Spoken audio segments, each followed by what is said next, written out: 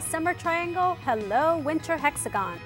Welcome to Stargazers. I'm James Albury, director of the Kika Silva Pla Planetarium in Gainesville, Florida. And I'm Marlene Hidalgo, science teacher from Miami, Florida. And I'm Dean Regas, astronomer from the Cincinnati Observatory.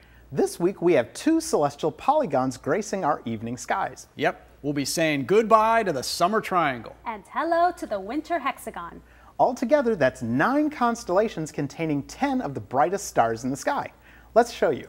Our skies are set up for just after sunset this week. If you look west, you'll see three bright stars making the asterism we call the summer triangle. Vega is the brightest star of Lyra the Harp, Deneb is the brightest star of Cygnus the Swan, and Altair is the brightest star of Aquila the Eagle. The brightest star in the triangle is Vega, and it's only 25 light years from Earth, and Vega is one of the most luminous stars in our neighborhood. Vega was our North Star way back in 12,000 BC, and it will be again in 14,000 AD, thanks to the top-like wobble our Earth makes over the course of 26,000 years. The second brightest triangle star, Altair, is only 17 light years from Earth. Of all the stars near us, Altair spins the fastest. Altair makes one complete rotation in only nine hours. Compare that to our Sun, which takes 26 days to complete one rotation. This rapid spinning has caused Altair to flatten out like an M&M. Yum, I like M&Ms. The last star of the summer triangle is the blue-white star Deneb.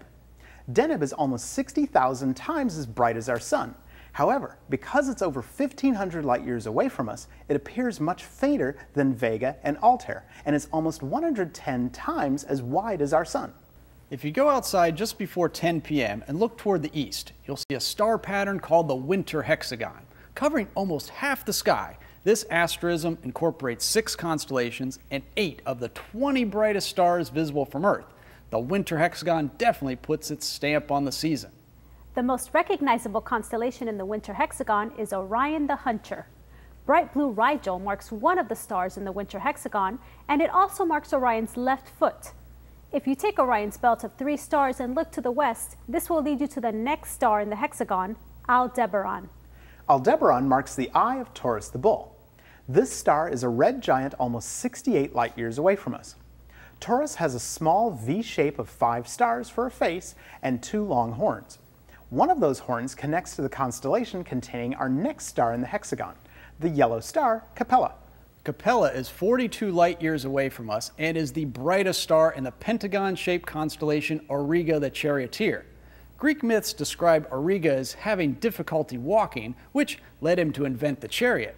Although it appears to be a single star to the naked eye, Capella is actually a star system of four stars in two binary pairs. The last four stars of the winter hexagon come from three different constellations. Just to the east of Capella are the stars Castor and Pollux. These stars make up the head of the Gemini twins. Castor is almost 50 light years away and is actually a group of six stars. Pollux is 34 light years away and is actually two stars orbiting each other.